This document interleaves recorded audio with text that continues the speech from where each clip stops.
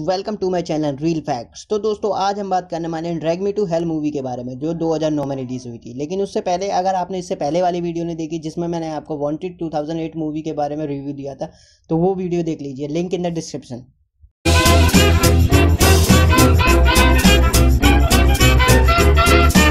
दोस्तों, ये movie release हुई थी 15 मार्च 2009 में, जिसे सैम रेमी ने डायरेक्ट किया था। ये एक अमेरिकन सुपर हॉरर मूवी है।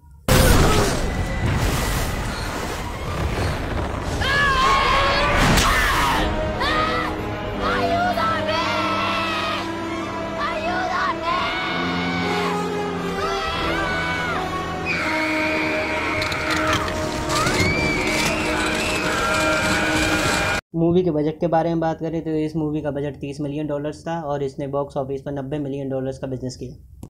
दोस्तों, इस मूवी की कास्ट के बारे में बात करें तो एलिसन लोमन क्रिस्टन ब्राउन के रोल में नज़र आती है जस्टिन लॉन्ग जो कि क्ले डाल्टन के रोल में नज़र आते हैं, और लेना रोवर जो कि मिसेस गैसन के रोल में नज़र आती है। दोस्तों, मूवी की स्टोरी के बारे में बात करें तो इस मूवी में एक लड़की है जिसका नाम है क्रिस्टियन वो एक बैंक में काम करती है। एक दिन वहाँ एक अजीब सी औरत आती है जिसका नाम मिसेस गैसन है। वो लोन अप्रूव के लिए आती है बट उसका किसी वजह से लोन अप्रूव नहीं हो पाता और वो इस बात की गुस्सा में क्रिश्चियन से निकालती है, उसके ऊपर जादू टोना टोटका करा देती है। पूरी मूवी में उसके साथ कुछ ना कुछ बुरा होता रहता है, इसी पर बेस करके ये पूरी मूवी बनी है। दोस्तों इंडियन हॉरर मूवीज़ को इस मूवी से कंपेयर करूँ तो हमारे इंडियन हॉरर मूवीज़ की हालत ये है। बॉलीवुड हॉरर मूवीज़ में ज़्यादातर न्यू एक्टर्स को कास्ट किया जाता है जिससे ऑडियंस का आधा इंटरेस्ट तो वैसे ही चला जाता है। बाकी अगर मूवी की स्टोरी अच्छी हुई तो ठीक वरना ऑडियंस को घंटा फ़र्क नहीं पड़ता है क्या हो रहा है। मालूम है तेरे बाप को मत सिखा चल। दोस्तों ऐसा नहीं है कि सभी बॉलीवुड हॉरर मूवीज़ की हालत भी यही है। कुछ अच्छी मूवीज़ भी बनी है जैसे कि वीराना नाइनटी ट्वेंटी बंदर वजह जैसी मूवीज़। इन्होंने कम बजट के साथ भी बहुत अच्छा बॉक्स ऑफ़िस कलेक्शन किया था। चलिए अब बात करते हैं मूवी के कुछ औसम फैक्ट्स के बारे में।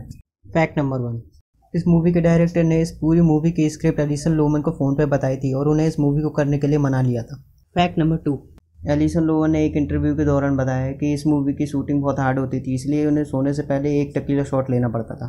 फैक्ट नंबर थ्री इस मूवी में पहले क्रिश्चियन के रोल के लिए एलन पेज को कास्ट किया गया था लेकिन स्क्रीन एक्टर्स गिल्ट स्ट्राइक की वजह से एलिसन लोमन को इस रोल के लिए कास्ट किया गया। फैक्ट नंबर फोर एक इंटरव्यू के दौरान एलिसन लोमन ने बताया कि कब्र वाले सीन को करने के लिए उन्हें पूरे दो हफ़्ते लगे। उन पर रोज ठंडा पानी और कीचड़ फेंका जाता था। ये एक बोनस फैक्ट है। मूवी की स्क्रिप्ट उन्नीस में आर्मी ऑफ़ डार्कनेस मूवी के बाद लिखी जानी थी लेकिन स्पाइडरमैन सीरीज़ शुरू होने की वजह से स्क्रिप्ट को बीच में ही रोक दिया गया था। दोस्तों अब बात कर लेते हैं इस मूवी की रेटिंग्स के बारे में। तो दोस्तों इस मूवी को 6.5 आउट ऑफ़ 10 आई रेटिंग मिली है। साथ ही रोटन टमाटोज ने इसको 92 परसेंट फ्रेश बताया है। आज की ये वीडियो यहीं तक थी। वीडियो देख के खुशी हुई है मज़ा आया तो वीडियो को लाइक कर दीजिए, साथ ही चैनल को सब्सक्राइब कर दीजिए और हमें कमेंट करके बताइए आपको ये मूवी कैसी लगी।